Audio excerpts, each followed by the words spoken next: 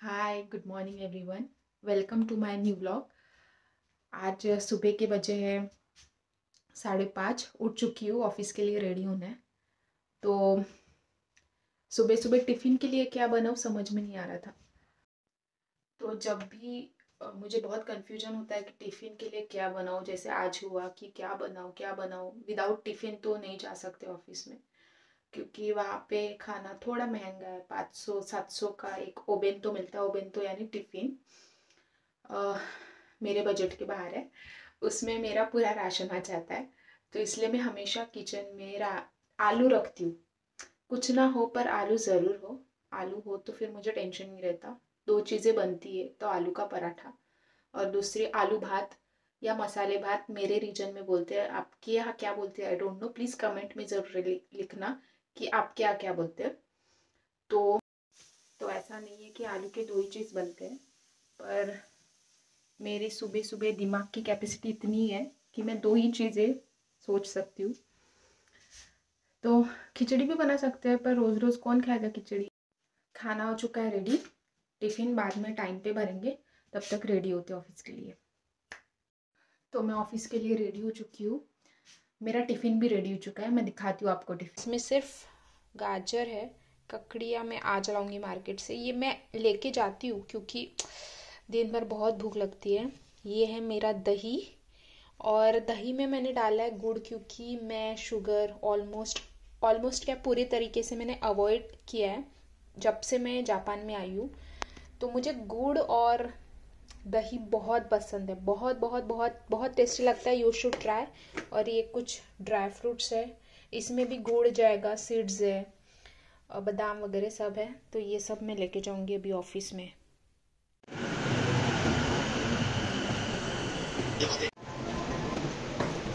तो ये मेट्रो यहाँ पे खड़ी इसलिए है। मैं आपको एक्सप्लेन करती हूँ क्यों खड़ी है। ये जो एरो दिख रहा है, वो है मेट्रो का मेन डोर ये जो दूसरा एरो आपको दिख रहा है, वो है सेफ्टी डोर आप इसे बोल सकते हैं। ये दोनों डोर एक दूसरे के सामने अलाइन नहीं है और जब तक अलाइन नहीं रहेंगे, ये डोर ओपन नहीं होने वाले और ये चीज़ मेट्रो के ड्राइवर ने नोटिस करी यहाँ पे। तो इसलिए यहाँ पे मेट्रो खड़ी ही रहेगी।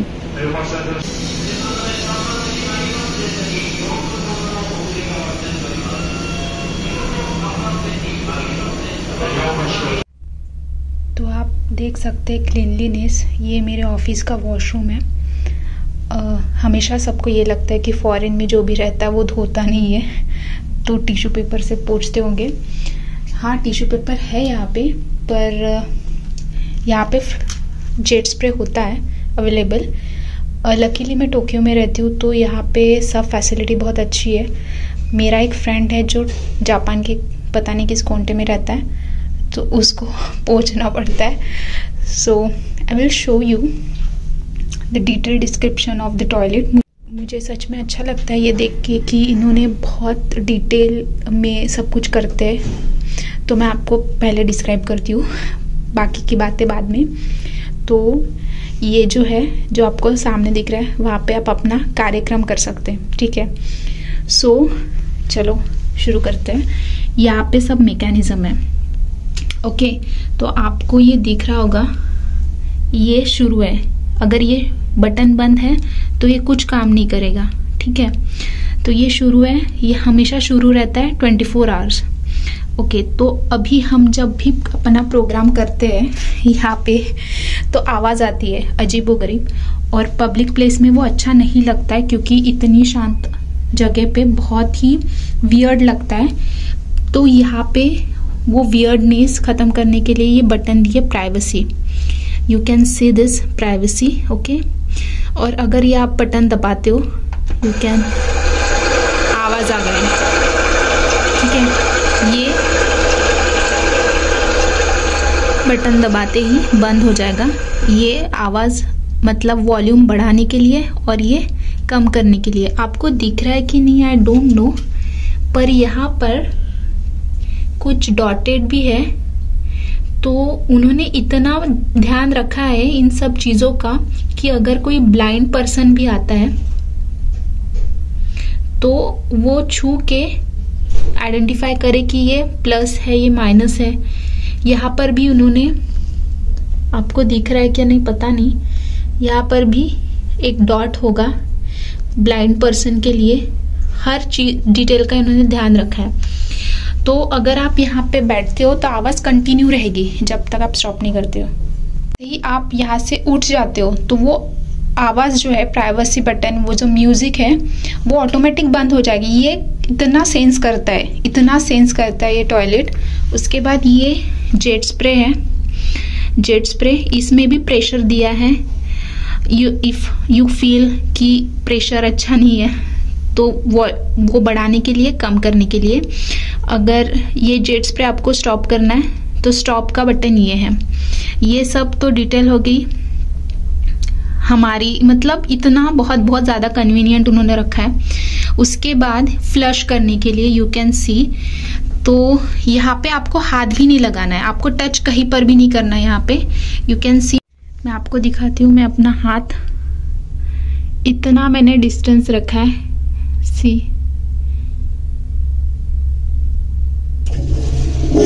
मैंने टच भी नहीं किया और फ्लश हो गया। फ्लश हो गया ओके ये फ्लश हो गया। अब अपना हो गया कार्यक्रम ख़त्म। हम, हमारा प्रोग्राम ख़त्म हो गया। पूरा हमारा बॉम्ब गिर के वगैरह ख़त्म हो गया यहाँ पे।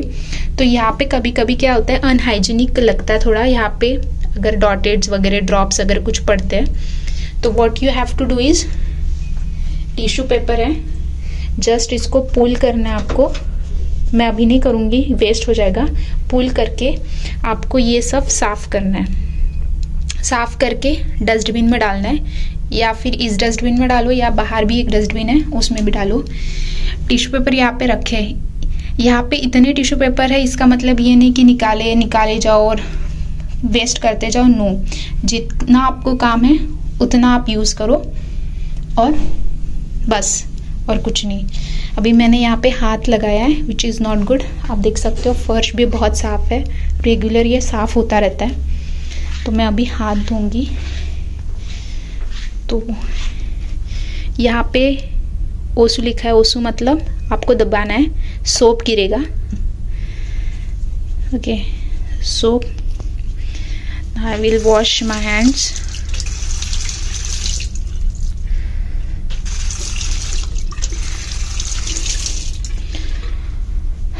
तो ये है जापानीज वॉशरूम तो मैं आ चुकी हूँ घर।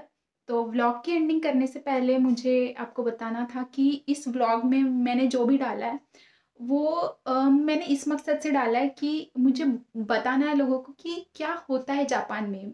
जापान के लोग कैसे रहते हैं कैसे वो चीज़ें यूज़ करते हैं ट्रैवल कैसे करते हैं मेट्रो का ट्रैवल कैसे होता है। मैं जब भी uh, कुछ देखती हूँ तो मुझे ऐसा लगता है कि ये व्लॉग में जाना चाहिए ये लोगों को uh, देखने में इंटरेस्ट आएगा। आई होप सो कि आपको मेरा व्लॉग पसंद आएगा। प्लीज़ कमेंट में ज़रूर लिखिए कि कैसा आपको लगा। और और ब्लॉग्स आएँगे सॉरी थोड़ा इरेगुलर हो रहा है because of my office works and all but हाँ ज़रूर मैं ट्राई करूँगी कि और रेगुलर रहूँ। तब तक के लिए बाय